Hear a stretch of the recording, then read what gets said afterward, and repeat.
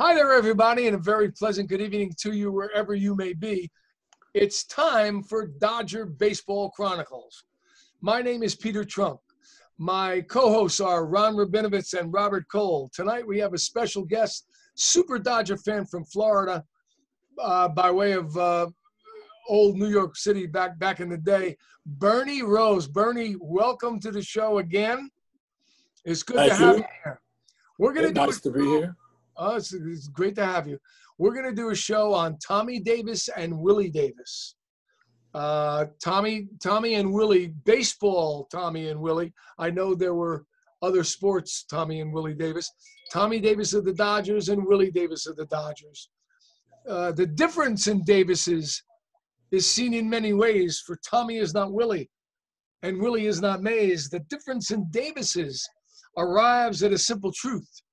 For Willie is not Gehrig, Tommy is not Ruth. The difference is more than just their names. For Willie wins the headlines, and Tommy wins the games. Let me tell you something. I going over Tommy and Willie before I send it over to our super fan, Mr. Uh, Bernie Rose. I I looked up Tommy Davis's uh, lifetime WAR and Willie Davis's lifetime WAR, which uh, stands for wins above replacement. Uh, Tommy Davis lifetime 20.5. Willie Davis lifetime 60.8. That's I like saw that. that's night and day, ladies and gentlemen. Night and day. Um, Willie had 182 home runs. Tommy had 153 home runs. Uh, one thing I can say about Tommy that was unbelievable was that when he retired, he was number one in uh, batting average for pinch hitters, 320. When Willie retired, he had played more games in center field than anyone in history except for Willie Mays and Tris Speaker. That's amazing. Yeah. It's pretty amazing. I'm gonna I'm gonna uh, send it over to um, our guest. Uh, we, we can hear you, Linda. You're on TV, Linda. Hey, we're, we're going to send it over to our guest, uh, Bernie Rose. Bernie, hi- first of all, welcome again. Uh, we, we love having you on the show. We want you to talk, if you will, about Willie Davis and Tommy Davis. Uh, I know you were a gigantic Dodger fan at the time that those two guys were in their prime. So uh, I'll give it up to you. Go ahead. Well, I'll tell you what, if they would have had all the coverages that you can get now back then, I probably never would have gotten any sleep as a kid. because, you know, staying up till two o'clock in the morning now all the time with these games, certainly one one thirty, uh, you couldn't do back then. And I clamored uh, to see. I clamored for Dodger information and for to see the games that you could only see on the NBC Saturday afternoon games on the uh, on the weekend. You know, because Dodgers were in L.A. and Yeah. and I was in Queens, New York City, by way of Brooklyn, mind you. And uh, Tommy Davis, as you pointed out a couple of weeks ago, Peter, boys high in Brooklyn. He he was from Brooklyn. They signed him in Brooklyn, but he didn't show up till L.A. And when he won those two batting titles back and to back to back, Yeah. I was like 11 and 12, and it was everything. Baseball was, you know, a big part of my world. And he hit 346. He had 153 RBIs, and as much as information as you could get back then, you know, was it was amazing. And then he won the the title again the next year, hitting 326.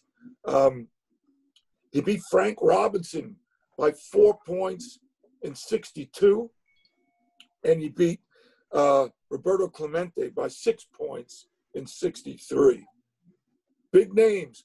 And, and I always felt if he didn't wreck his ankle in 1965, you know, what might he have done? Would he have been maybe even a Hall of Famer, you know? Uh, because he could do it. he did it all um, except the home runs. The year he uh, hit 346 and knocked in 153 RBIs. Willie Mays had 49 home runs, and Tommy only had uh, what 27, I think it was, 26. I wrote it down somewhere. Um, 26. 20, no, 27. 27. Willie Mays had 49 home runs, but he only had 141 RBIs. And neither one of them won the MVP because Maury Wills stole 104 bases and the whole country fell in love with him. Yeah, that's right. That was some year, guys, wasn't it? That was great. It was a hell of a year.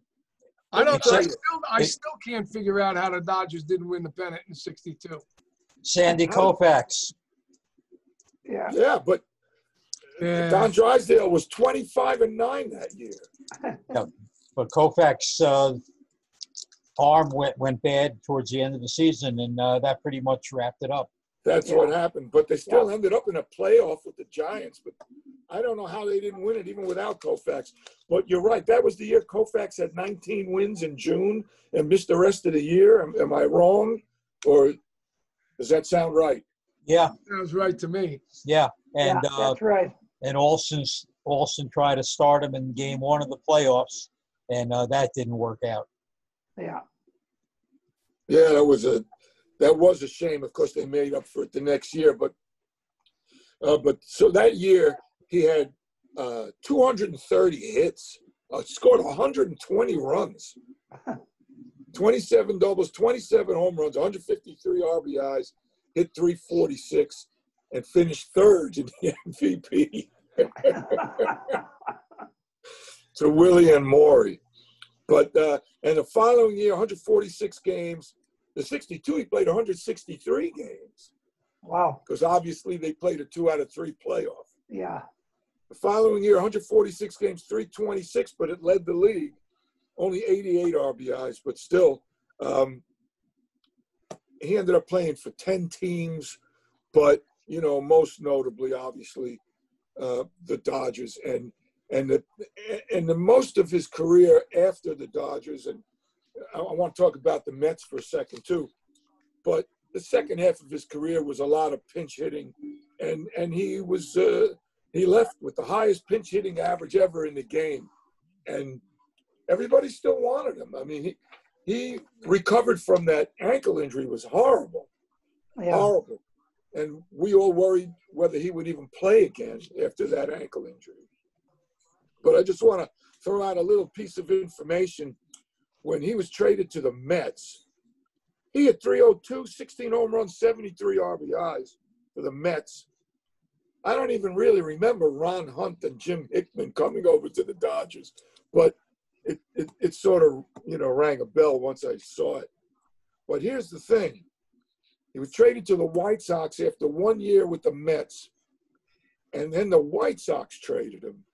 And and later on in his career, he was he was very vocal about resenting all the trades and and the releases and you know how often he was moved around. He yeah. was he was not happy about it.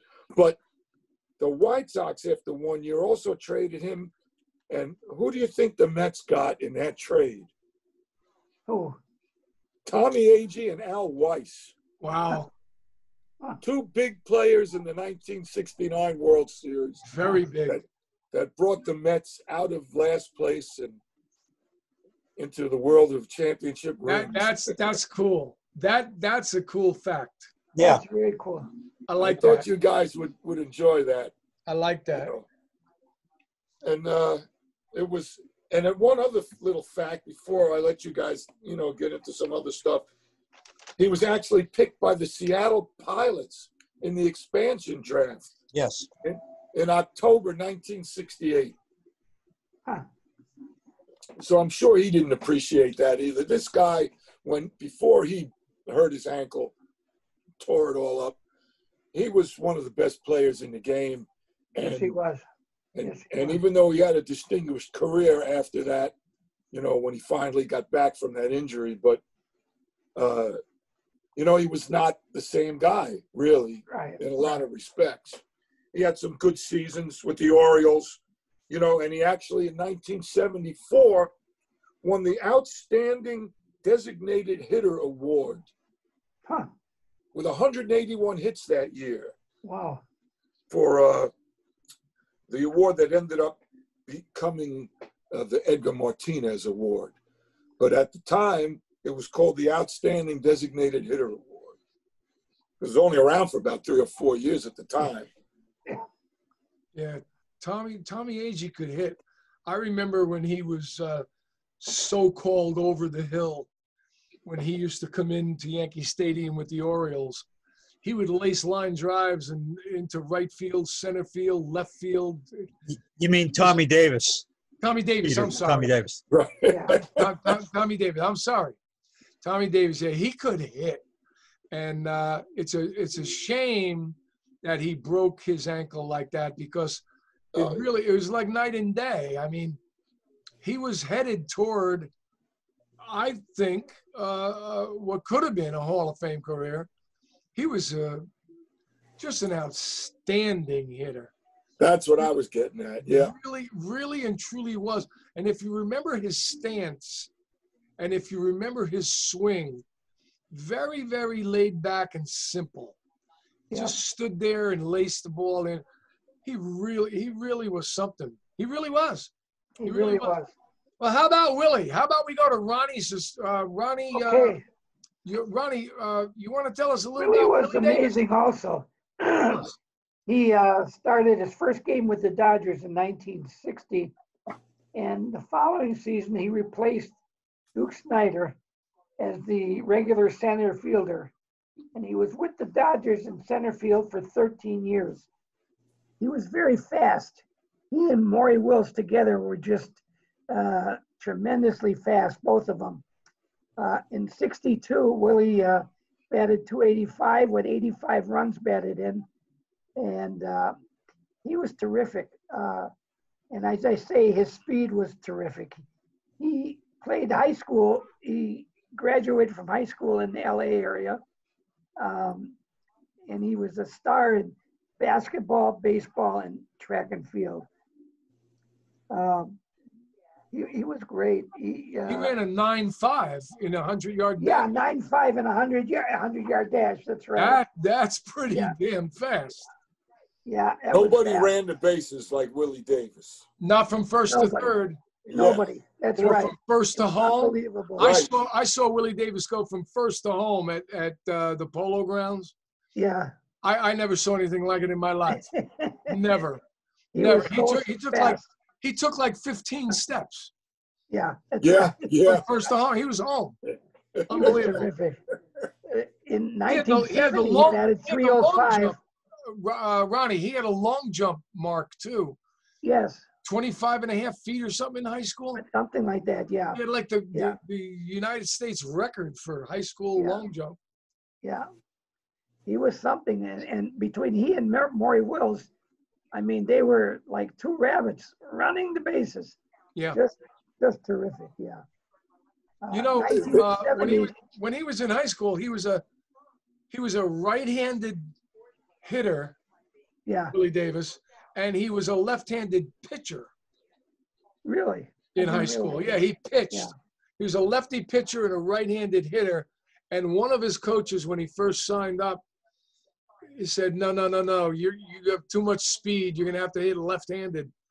And he hit left-handed.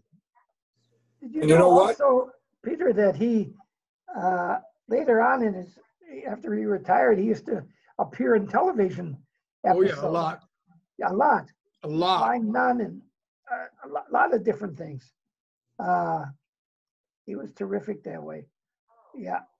He won three consecutive gold gloves, 71 to 73. He did, and you know that. You know what? I was going to bring that up, and you beat me to it. That that I like that uh, fact because he's he's well uh, known for the three errors in one inning in Yeah. the in, in the Right. '66 World Series against The the Orioles. Orioles. Yep. He, he committed Yeah. three errors in one inning. Everybody said, "Well, he wasn't that good in center field."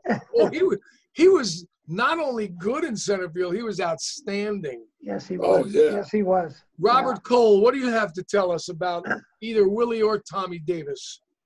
Well, the intriguing thing about the two of them is Tommy was originally brought to the Dodgers to play in Brooklyn, and he was the epitome of what a Brooklyn Dodger would have been uh, hard hitting, slugging type outfielder.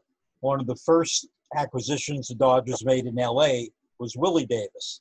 And Willie was a picture of what the Los Angeles Dodgers became fast, okay, uh, spray hitting, good fielding. And, you know, that was sort of a dichotomy with those two guys. Um, they both played on teams together for a couple of years. But one of the reasons, you know, you mentioned that uh, the war was much higher for Willie Davis than it was for Tommy Davis. And a lot of that had to do with his defense. Not so much the hitting, but his defense in center field Wins above replacement. War. Right. Yeah, yeah. compared with other center fielders of that era, okay, which is one of the reasons why his war was so much higher. But uh, you know, they were two two different ball players. They shared the last the same last name.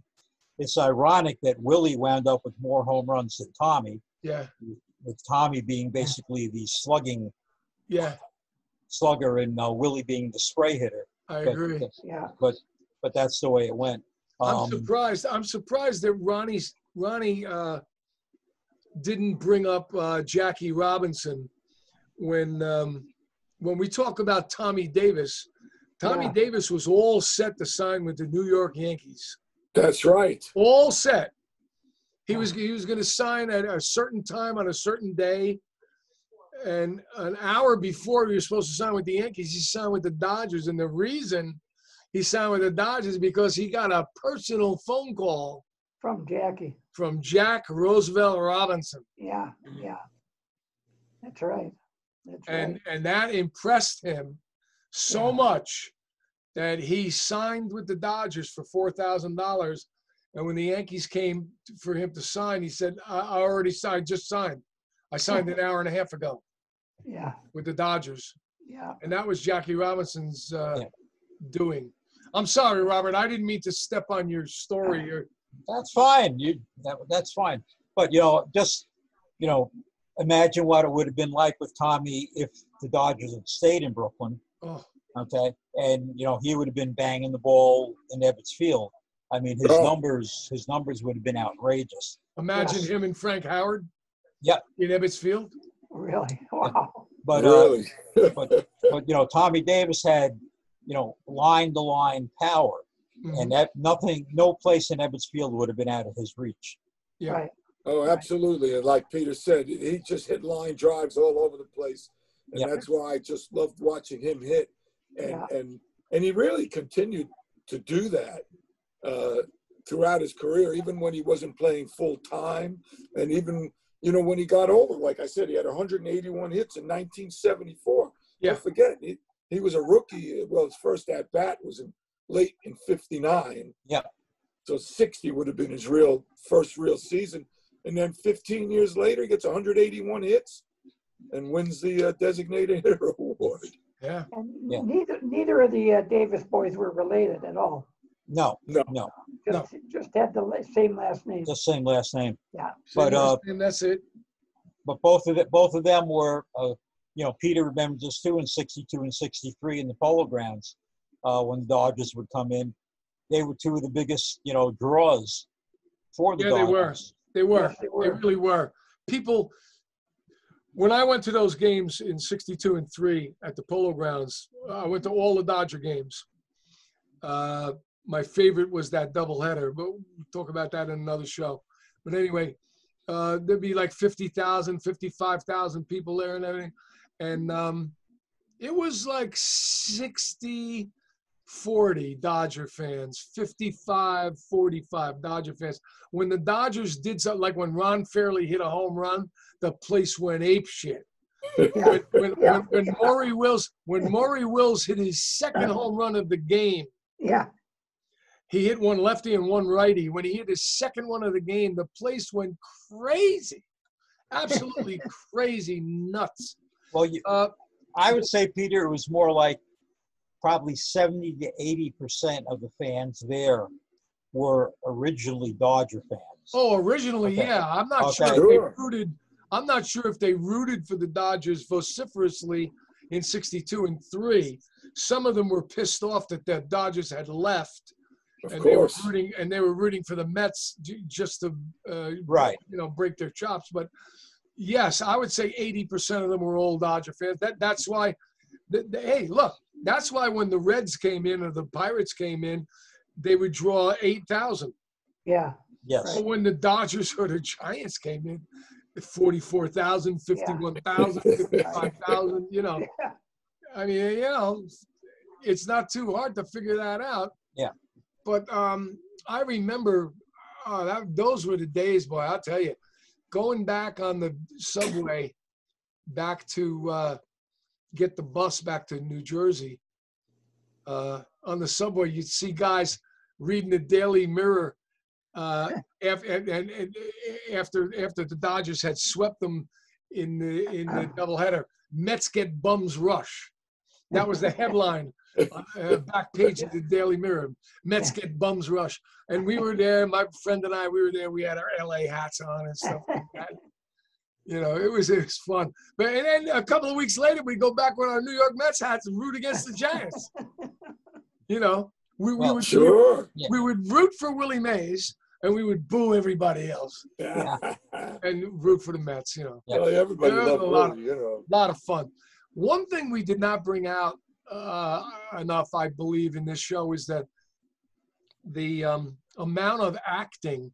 Ronnie touched on it, but the Yeah. amount of acting that Willie Davis did, he was in many, many TV shows. yeah, many. He was a guest star. He was a singer. Mhm. You know, Maury Wills was not the only guy on that club that sang. Yeah, Will, Willie Davis also sang, but uh, Willie had, I met Willie a couple of times. Willie had a very deep voice. yeah, Willie, Willie's voice was real deep. Oh, yeah. Yeah, he was a good guy. He was a Maury good played guy. the banjo. He's a funny guy. He's a fun, yes, Maury played the banjo, right? Yeah. Um, but, um, well, that's Tommy and Willie Davis. I hope. Let me tell you. Can I tell you one thing? Sure, you can tell us Willie two things. Club records. I, I got to tell you about seven things. Career hits, 2091. Runs, 1,004. 110 triples. 7,495 at bats. 3,094 total bases. 585 extra base hits. And nobody even mentioned, we're always talking about Tommy being the great hitter that he was. Who had the 31 game hitting streak? Oh yeah, right. Well, Willie, Willie Willie had a 31 yeah. game hitting streak, Longest streak in Dodger history, and all longest streak those in Dodger Dodger history. all of those things I just mentioned. Yeah, Willie Davis, Yeah, Willie. and uh, he was the first National League lefty to win the Gold Glove, and second in history of MLB. Vic Davalillo was the first lefty for center fielder. I'm talking about, Okay. of course. yeah, Okay. In in center field, there was always you never think about things like that. yeah, but they were always right-handers, and and those two guys were the first left-handed center Left-handed. fielders to win Gold Gloves. You know, it, it, as it stands, and, and we already covered that Tommy would have been better if he hadn't broken his ankle, et cetera, et cetera, et cetera. right. And what what could he have done at Ebbets Field and all this other? You know, we had all these uh, all these scenarios. Um, the the thing is, at the end of the show, which we're coming to, I would have to say, in my opinion, is that when you look back, as Dodger fans look back on Willie Davis and Tommy Davis, Tommy Davis is just a little tiny bit overrated, and Willie Davis is a little bit underrated. Underrated, you're right. That's right. Yeah, you're probably right. Willie, Willie but, was yeah. better. Willie was better than we thought. Yeah, at the time, you know, Yeah, he Oh, really yeah, well, it's- was. He really was. Now you're gonna get you're gonna get uh, Giant fans or Yankee fans who are gonna tell you, oh, he was just a compiler. He he played year after year after year, and he compiled these statistics.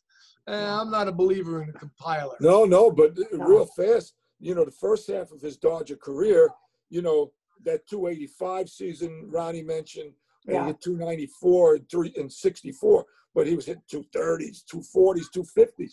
But from 69 to 74, he hit 311, 305, 309, 289, 285. Yeah. And then he went, he, he was in Montreal for 74 and hit 295 with 89 RBIs. That's substantial. That's good. Yeah.